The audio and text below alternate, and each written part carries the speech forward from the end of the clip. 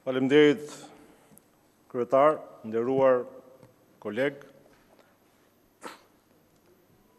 Pas asaj ngjarje të rëndë për cilën dëshiroj edhe një herë të shpreh keqardhjen e madhe dhe të ngushlloj familjen Rasha, Tirana dhe disa qytete të tjera të vendit u përballën me tubime dhe protesta të dhunshme. Në protesta pati një pjesëmarrje të konsiderueshme nga të rinj të moshave dymbëdhjetë deri njëzet e dy vjeç. Siç u pa nga të gjithë në ato ditë dhjetori, epiqendra e protestave ishte Tirana dhe më konkretisht bulevardi Dëshmorët e Kombit. Kryeministria, Ministria e Brendshme, Bashkia e Tiranës dhe Drejtoria Vendore Policisë Tiranë. Por pati tubime edhe në disa qytete të tjera të vendit si Durrësi, Korça, Shkodra e tjerë. Protestat u shoqëruan me kryerjen e veprimeve të dhunshme dhe akte vandale ndaj objekteve të rëndësisë shtetërore dhe pronës publike, duke i dëmtuar me sende të forta dhe shpesh duke tentuar t'i vihet zjarri. Përmend këtu sulmet ndaj Kryeministrisë, Ministrisë Brendshme, Bashkisë Tiranë e deri ke Muzeu Kombëtar. Ndërkohë, u shkatërruan në mënyrë të përsëritur dhe semaforët në disa kryqëzime në rrugën e Tiranës, duke shkaktuar kaos për disa ditë në qarkullimin e automjeteve. Gjatë kryerjes së veprimeve policore dhe marrjes së masave për garantimin e rendit publik dhe mbrojtjes së objekteve të rëndësisë shtetërore, u lënduan një numër i konsiderueshëm punonjësish të policisë në Tiranë, Shkodër e Korçë. Nderuar kolegë deputetë, në përgjigje të kërkesave tuaja, por edhe për të informuar qytetarët, dëshiroj të ndaj me ju informacionin e kërkuar si më poshtë. Në total janë njëzet e gjashtë punonjës policie të dëmtuar gjatë protestave, nga të cilët tetë policë të Drejtorisë Vendore të Policisë Tiranë, dy policë të Drejtorisë Vendore të Policisë Shkodër dhe Korçë dhe pjesa tjetër punonjës të Forcave të Ndërhyrjes së Shpejtë. Procedime penale të referuara në organin e prokurorisë për veprën penale Organizimi dhe pjesëmarrja në tubime e manifestime të paligjshme janë njëzet raste. Proceduar penalisht për këtë vepër penale janë pesëqind e shtatëdhjetë e tetë persona, nga të cilët arrestuar në flagrancë nëntëdhjetë e shtatë persona, nga të cilët të mitur katërmbëdhjetë deri në tetëmbëdhjetë vjeç janë katër persona.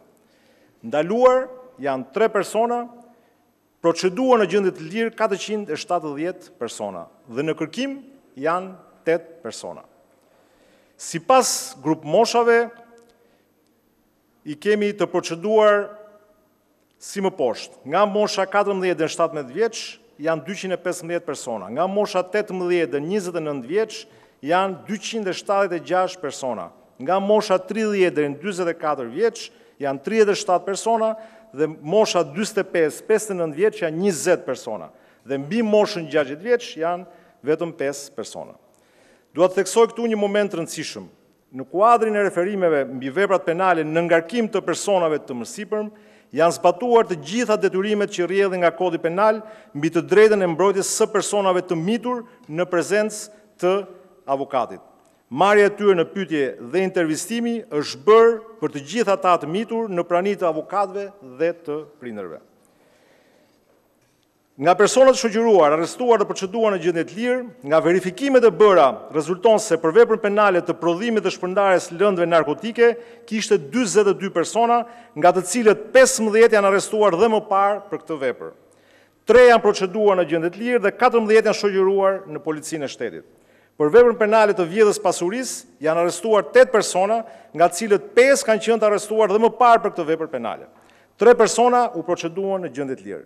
Për veprën penale të krimeve kundër personit janë proceduar katër persona, nga të cilët një i arrestuar, një i ndjekur në gjendje të lirë dhe dy të shoqëruar si të dyshuar në lidhje me këtë tendencë.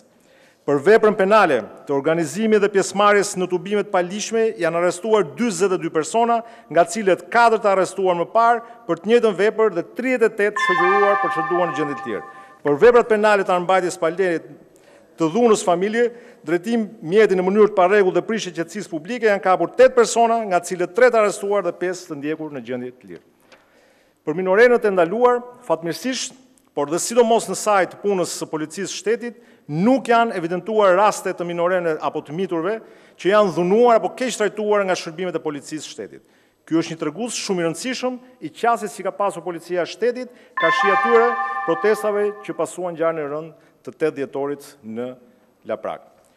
Në lidhje me vizitën në familjen e të ndjerit, besoj se pyetja është e tepërt, vetëm në dasma shkohet me ftesë, gjithsesi, më lejoni t'ju them që si kryeministri, ashtu dhe ish ministri i Brendshëm, edhe unë në cilësinë e ministrit të Brendshëm, kemi shkuar për ngushëllim në familjen Rasha për t'i shprehur ngushëllimet, por edhe për ta garantuar që askush nuk do të ketë mbrojtje ndaj shkeljes së ligjit qoftë ky me uniformë apo qoftë ky me pozitë në sektorin publik dhe besoj se këtë premtim e kemi mbajtur pasi çështja që për cilën ne i referohemi tashmë është në gjykatë dhe është gati për t'u gjykuar. Hetimet janë mbyllur plotësisht dhe ka prova të plota tashmë për fajësinë e oficerit të policisë në lidhje me këtë ngjarje. Faleminderit. Faleminderit kryetar, thjesht një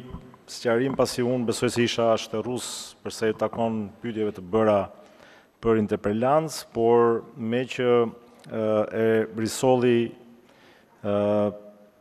zoti Gjuzi edhe një herë çështjen e statistikave, për sqarim po ju them që nuk janë 500 të arrestuar, por janë Vetëm nëntëdhjetë e shtatë të arrestuar. Dhe njëherë pra si statistikë arrestuar në flagrancë janë nëntëdhjetë e shtatë persona, ndaluar janë tre persona, proceduar në gjendje të lirë janë katërqind e shtatëdhjetë persona dhe tetë persona janë në kërkim.